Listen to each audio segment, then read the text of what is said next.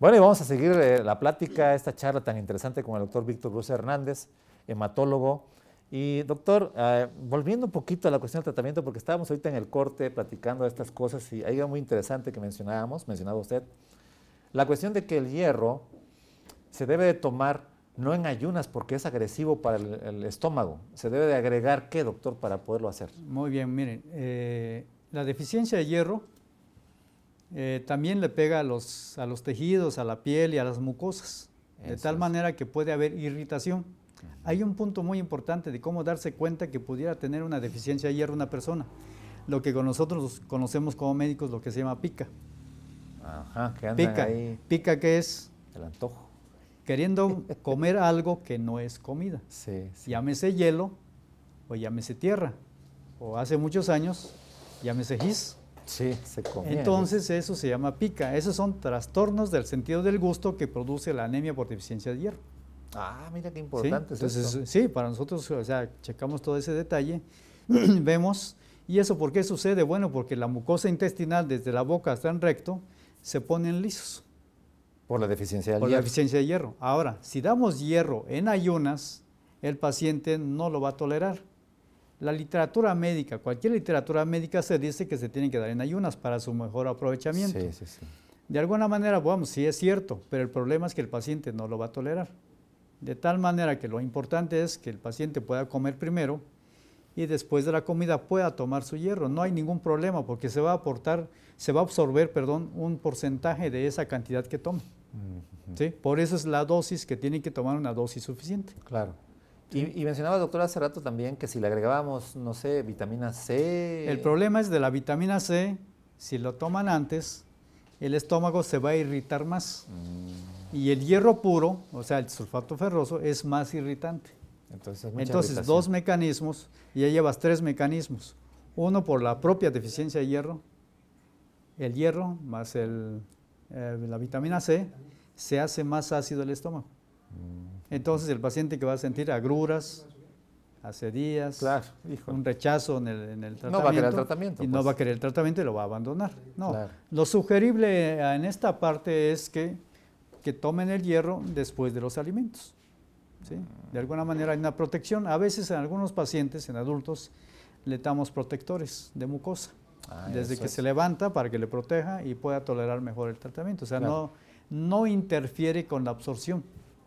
Mm, Posiblemente se absorba menos cantidad, pero se absorbe. Ahora, si combinamos, como hace rato mencioné, eh, la alimentación y el mm. medicamento, pues sube. O sea, un paciente bien tratado y, bien, y que tome los medicamentos, el paciente debe ganar un punto por semana. Eso quiere decir que si tiene una hemoglobina de 8, en una ah, semana debe tener 9. O sea, es muy, vamos, en la parte médica, en esto, vamos a suponer que tengo un paciente con 8 de hemoglobina. Yo lo citaría a las dos semanas. Para ver si llegó a Con su estudio de control. Si en, ocho, en dos semanas tiene 10, perfectamente va bien el tratamiento. ¿Le crees que sí está comiendo bien? Que está comiendo y que está tomando su medicamento. Sí, claro. ¿Para qué sirven esas dos semanas que le tomo sus estudios y la revisión? Para darme cuenta de lo que acabas de mencionar o no lo absorbe. También puede ser, ¿no? Son dos, dos, dos, mecanismos que uno va checando, entonces, y ya después de ahí, pues ya se le daría una cita más larga, ¿por qué? Porque ya sabemos que ya despegó perfectamente bien, de 8 pasó a 10, y su nivel mínimo normal es 12. Puede llegar a más nivel, pero, ¿y los síntomas? En automático los síntomas van a, van a mejorar. Van a mejorar, menos dolor de cabeza, menos, menos fatiga, la palidez también va desapareciendo y todo eso, entonces todo mejora. Ok, y por ejemplo... Algo importante que tengo que mencionar, un paciente con anemia no le da hambre. Porque es muy común, es que no quiere, por más que le insisto, no quiere comer. No, la verdad no tiene ganas de nada. Ay, hijo, también es muy interesante ese punto. Ese punto es muy importante porque uno, vamos, los familiares dicen, doctor, por más que le digo no come, es que no come, o sea, es la queja. Sí, pero pues está anémico y no come, pues ¿cómo se va a mejorar? exactamente, entonces el punto es esto, o sea, combinamos los dos elementos, o sea, vaya comiendo lo que vaya tolerando, claro. más su tratamiento. Cuando llegue a un nivel de hemoglobina, le va a exigir los alimentos. De ahí el concepto, el mal concepto, el mal concepto de que las vitaminas engordan. las vitaminas no engordan. El problema es la cantidad que está consumiendo. Eso es un eh, concepto erróneo de, de las vitaminas. Y, lo escucha uno todos los días. Entonces lo escucha uno todos los días. Doctores que no, el problema no es eso. Entonces ese es un punto muy importante. Otro punto importante que también sucede, las personas que se meten a una dieta, eso es algo importante que se me pasó a mencionar, que quieren bajar de peso. Ah, ¿Sí? Que es muy común el día de hoy. Esa es la moda actual. Entonces no es raro que yo vea una persona que te, vamos a suponer que pesa 70 kilos y quiere bajar. ¿No? Va y se hace su dieta y empieza a hacer su dieta. No baja, sube, pero más, a veces sube de peso y baja la hemoglobina. ¿Qué sucedió ahí? Una mala planeación de la alimentación. Doctores, que más que bajar subí. Y me mandaron porque empecé a hacer anemia. Pues sí, porque todo está mal calculado. Yo no manejo las dietas, ¿de acuerdo? Yo lo que único que hago es el tratamiento. La dieta tiene que ser su médico diet, el, dietista, pues. El, su médico en nutrición. Claro, Médico que sepa de medicina nutricional. Porque eso es muy importante. O sea, médico que sabe de nutrición va a entender las enfermedades que tenga el otro paciente. Entonces eso es muy importante dividirlos. Claro, aquí yo creo que hay que hacer eh, una pausa también, porque un hincapié aquí sería bueno porque hay mucha gente que hace dietas, o sea, sobre todo las mujercitas que dicen, bueno, es que yo estoy gordita y estoy con la lonjita, etcétera, y quieren bajar de peso, pues pueden llegar a un grado también de anemia. No, de hecho, a veces hacen, bueno, es que son dos, una es la esa parte, o sea, que, acabo de mencionar. Pero hay un grupo muy importante que no tiene mucho tiempo, que será 7, 8 años más o menos, de los 15 a los 25 años de edad. ¿sí? Se meten dos horas al gimnasio, consumen agua y no comen. Entonces, eh, me ha tocado ver hemoglobinas de 4, de 6, anemias severas. ¿sí? Entonces, pero ahí ya entran otros conceptos. ¿Sí? Ahí ya nada más, no, no nada más es suficiente la parte hematológica o médica, el manejo, sino que ahí ya tiene que entrar la psicología.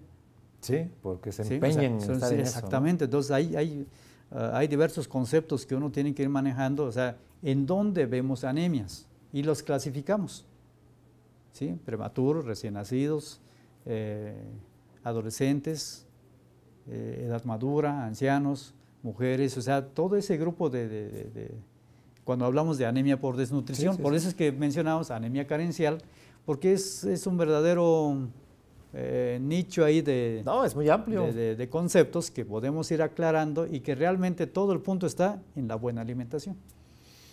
Ay, pues aquí sí, para que el teleauditorio esté bien consciente de que hay que comer bien, hay que alimentarse bien y, y pues comer de vez en cuando una carnita, un tasajo, algunos higaditos, que aquí en Oaxaca, vamos, somos eh, especialistas en eso, no hay necesidad de que nos digan dos veces, ¿verdad? Ese es, el, ese es el gran problema, que la comida oaxaqueña es muy rica, ¿sí? O sea... En exceso.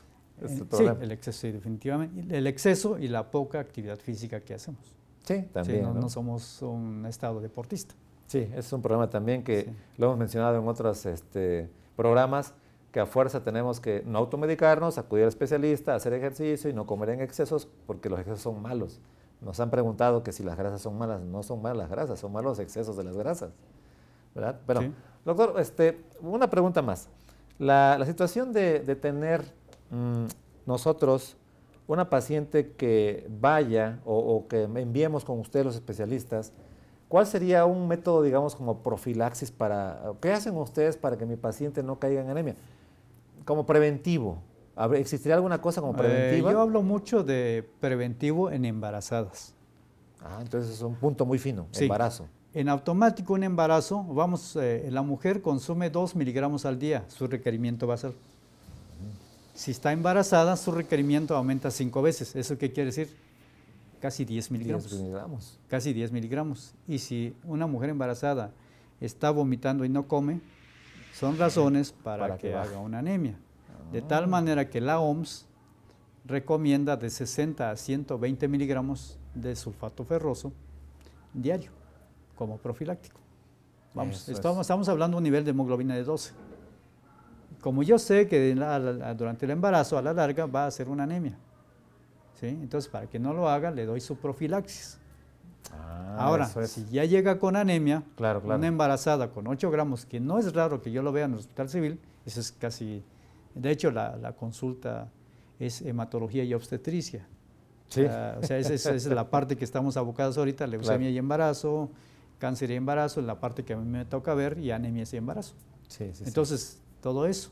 Ya de los menos frecuentes que pudiéramos decir como causas, problemas de coagulación en la mujer que lo lleva a la anemia. Eso, son, ese es otro rubro claro, claro. Eh, poco frecuente, sin embargo, por la gran población que tenemos, pues ya sabes que ahí vemos sí, sí, de, todo, un poco. De todo un poco. Entonces eso es algo importante que, pues me interesaba comunicarte esto, porque cuando me dices, bueno, anemias, pues de anemias, sí, pues este es el punto importante. Claro. Bueno, pues yo creo que nos vamos a quedar ya con este, estos puntos que hemos tocado. La verdad son temas muy interesantes que quizás ameritarían profundizar un poquito más, pero en general la gente se quedará con el concepto de que no se automedique, coma bien, se alimente bien, acuda con los médicos especialistas, con el doctor Víctor Cruz Hernández, que nos puede repetir, doctor, en su Sí, estoy en Navasolo 213. Eso es. Entre Avenida Juárez y Reforma. Bueno, y ya con esto vamos a despedirnos. Nos vamos viendo en el siguiente programa. La repetición, recuerde, el día de mañana sábado. Y eh, pues soy un servidor, el doctor Marco Antonio Concora Carlín. Un saludo al Centro de Salud de la Colonia Volcanes, a los médicos, a las enfermeras, a los eh, trabajadores de por allá y a la doctora Sandra Silva. Que estén muy bien.